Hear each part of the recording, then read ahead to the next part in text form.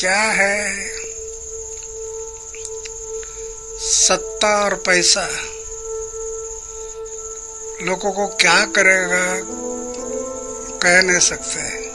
उस टाइम पर ये भी बोल रहे थे कि हम सत्ता में आने से सरकार का तनखा नहीं लेंगे, गाड़ी नहीं लेंगे, बंगला नहीं लेंगे। ये सब बोल रहे थे। अभी और पार्टी से भी इनके तनखा ज़्यादा है। तो ये ठीक नहीं है। सत्ता और पैसे के लिए ईमान खो देना, ये ठीक नहीं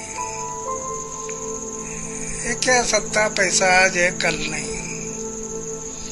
ईमान ईमान ही होता है। शुरू में लोकपाल के लिए हम लोग आंदोलन किया, वो भी साथ में थे।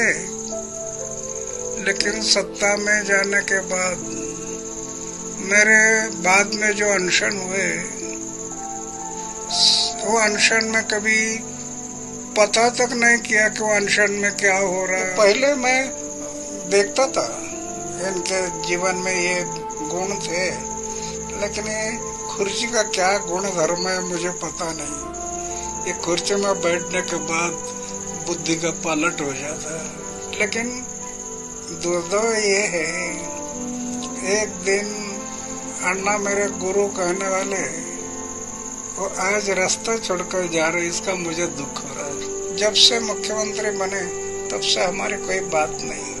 उनका रास्ता अलग हो गया आज बंगला लिया, गाड़ी लिया, सब कुछ लिए तो ये ठीक नहीं है। हम ज़ुबान लोगों को दिया है।